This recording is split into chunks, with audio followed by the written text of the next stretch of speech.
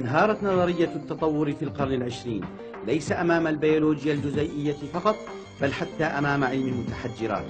فالحفريات التي استمرت في مختلف أنحاء العالم منذ ظهور النظرية حتى الآن لم يتم العثور فيها على أي متحجرة تؤيد النظرية التطور. والمتحجرات هي بقايا الأحياء التي عاشت في الماضي.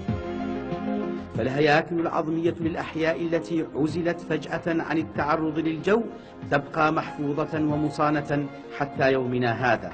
وهذه البقايا تعطينا معلومات حول تاريخ هذه الأحياء التي عاشت في الدنيا. لذا فإن سجل المتحجرات هو الذي يستطيع إعطاء الجواب العلمي حول كيفية ظهور الأحياء. حسب نظرية التطور التي قدمها داروين فإن جميع الأحياء تأتي من سلف واحد. أما ظهور كل هذه الأنواع المختلفة من الأحياء فيعود إلى التغيرات الطفيفة التي تراكمت ضمن شريط طويل من الزمان. فحسب هذه النظرية ظهرت الأحياء ذات الخلية الواحدة في بداية الأمر.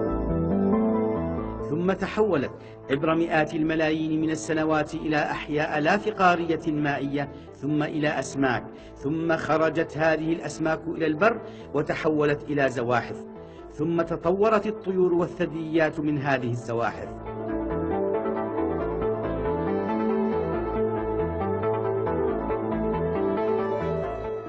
ولو كان هذا صحيحا لكان من الضروري وجود حلقات وسطى أو مراحل انتقالية كثيرة جدا تربط بين هذه الأنواع المختلفة من الأحياء. فمثلا إن كانت الطيور قد تطورت فعلا عن الزواحف لكان من الضروري وجود البلايين من أحياء هي نصف طير ونصف زاحف في التاريخ القديم. وكان من الضروري أن تملك هذه الأحياء أعضاء غير متكاملة بعد وأعضاء ناقصة. أطلق داروين على هذه الأحياء اسم أحياء المراحل الانتقالية وكان يدرك أنه لكي يتم إثبات صحة نظريته فيجب العثور على بقايا هذه الأحياء في سجل المتحجرات.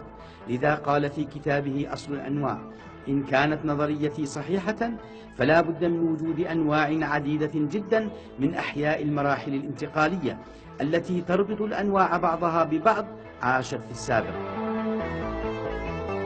ولا يوجد الدليل على هذا إلا في بقايا المتحجرات. ولكن داروين كان يعلم أن سجل المتحجرات لا يحتوي على أي شكل انتقالي لذا أفرد فصلا خاصا لهذه المشكلة في كتابه أصل الأنواع وطرح هذه الأسئلة بقلق إن كانت الأنواع قد تطورت حقيقة عن أنواع أخرى بشكل بطيء وتدريجي فلماذا لا نجد أشكال المراحل الانتقالية؟ يجب أن يكون هناك أعداد لا تحصى من هذه المراحل الانتقالية ولكن لماذا لا نجدها مدفونة بين الطبقات الأرضية؟ ثم ذكر داروين أنه إن تم تدقيق سجل المتحجرات بشكل جيد فلا بد من العثور على هذه المراحل الانتقالية المفترضة.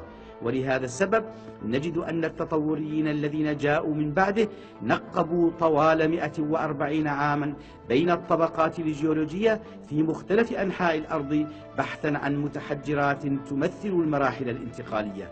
ولكن جميع هذه الجهود انتهت إلى خيبة أمل كبيرة وبقيت المراحل الانتقالية التي تخيلها داروين لا يتجاوز الخيال المحض. وهذا أدى بالعالم البالانثولوجي البريطاني المعروف دريك إيجر وهو من أنصار التطور إلى هذا الاعتراف. إن مشكلتنا هي عندما نقوم بتدقيق سجلات المتحجرات نواجه سواء على مستوى النوع أو الصنف في كل مرة الحقيقة نفسها وهي ظهور المجموعات بشكل فجائي وليس بعملية تطورية ذات مراحل معينة.